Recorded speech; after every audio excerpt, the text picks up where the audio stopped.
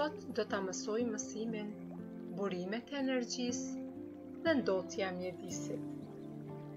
Në mësimin e kaluar, mësuam për burimet e dritës. Aty cekëm se dielli është burim i dritës dhe i nxehtësisë në tokë. Njeriu mund ta shfrytëzojë vetëm një pjesë shumë të vogël të energjisë së tij. Duke vendosur mbledhës të nxehtësisë në kulmin e shtëpisë. Burimet e energjisë mund të jenë burime të ngurta, të lëngëta dhe të gazta. Burime të ngurta janë druri dhe qymyri. Burim i lëngët është nafta dhe burim i gaztë është gazi. Dhe të gjitha këto burime mund të ndezen. Njeriu ujin e shfrytëzon si burim të energjisë.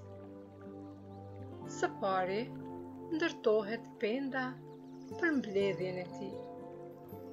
Pastaj, me rënie të shpejt, uji lëviz rrotat e mullinjve apo rrotat e gjeneratorëve për prodhimin e rrymës elektrike. Si burim i energjisë, shfrytëzohet edhe ajri. Me ajër, bëhet prodhimi i energjisë elektrike përmes turbinës së erës, si dhe me rrotullimin e rrotave të mullinjve të erës. Duke shfrytëzuar energjinë, njeriu e ndot mjedisin ku jeton. Ndotësit mund të jenë të ngurtë, të lëngët dhe të gaztë. Ajri ndotet nga djegja e qymyrit për prodhimin e rrymës elektrike, si dhe nga djegja e karburantit në automjete.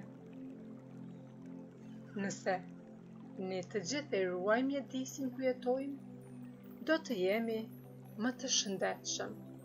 Pra, do të gëzojmë shëndet të mirë. Prandaj, Detyrë e nxënësve, mësuesve, prindërve dhe të tjerëve është ruajtja e mjedisit ku jetojmë, veprojmë, punojmë apo luajmë.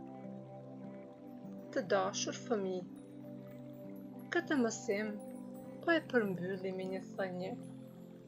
Ne nuk do të kemi një shoqëri nëse ne shkatërrojmë mjedisin. Deri në takimin tonë të ardhshëm, çdo të mirë për ju.